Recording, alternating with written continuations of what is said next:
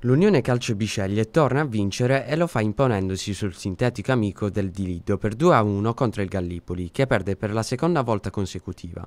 I padroni di casa giocano un buon calcio nella prima frazione, dove realizzano entrambe le segnature ma calano nella ripresa, lasciando il pallino del gioco agli ospiti che realizzano subito il gol che dimezza lo svantaggio, ma non riescono a rimettere la gara in careggiata. Mister Di Corato non ha nessun squalificato e schiera Altares in cabina di regina, impiegando in attacco Albrizio e Trigiani con Papagni a supporto. Per quanto riguarda il Gallipoli, mister Ruperto si affida al 4-3-3 con in avanti Romano e Sansò e di mezzo il giovane Iurato. Pronti via e i biscegliesi mettono subito la freccia. Passano 8 minuti ed Emango realizza il gol de- del vantaggio. Passa a Seo, è abile a respingere il primo tiro del numero 7 che si ripresenta sulla ribattuta e mette a segno il primo centro in questo campionato.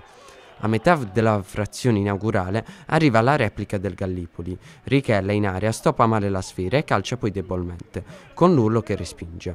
Al ventisettesimo minuto un cross di De Mango diventa un tiro che termina poco alto.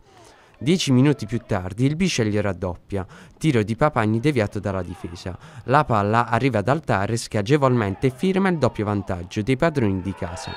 Al 41esimo Unione Calcio ancora pericolosa. Cross di Albrizio per Trigiani che calcia di prima da posizione ravvicinata e si deve opporre al miracolo di Passasseo.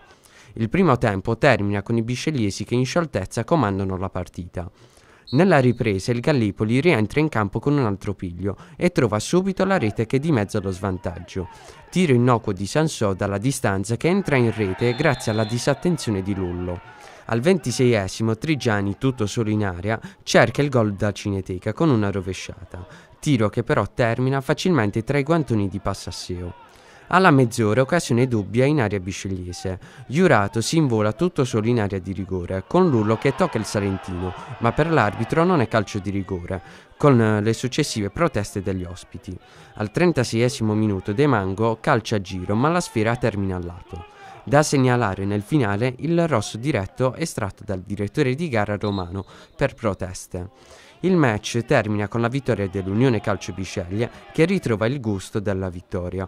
Nel prossimo turno la squadra di Mimmo di Corato giocherà in trasferta contro il Vieste, mentre il Gallipoli cercherà di tornare a vincere in casa contro l'Otranto.